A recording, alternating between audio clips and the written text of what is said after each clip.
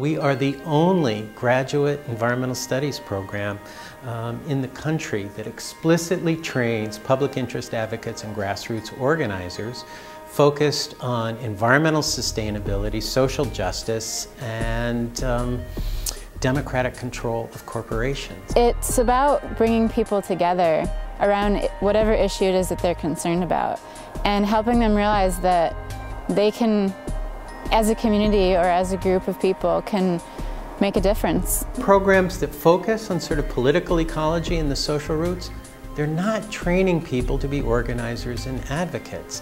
What do you need to know? What is your analysis and vision and strategy? What are the kinds of qualities and skills and wisdom and sort of ways of being in the world that should be cultivated?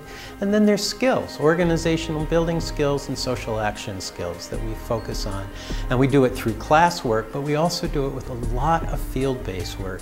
The program has given me the the theoretical confidence and the strategic tools to see a problem and make a plan to make it better. A theme that's really run through a lot of my classes has been relationship building and you have to really talk with people and understand their point of view and what their values are. I mean, the simple fact that we have two ears and only one mouth should be a cue uh, for um, that advocacy isn't just telling people what they ought to do, it's listening to people and making the bridge between the issue and their self-interest, finding out what they care about and how you might work together.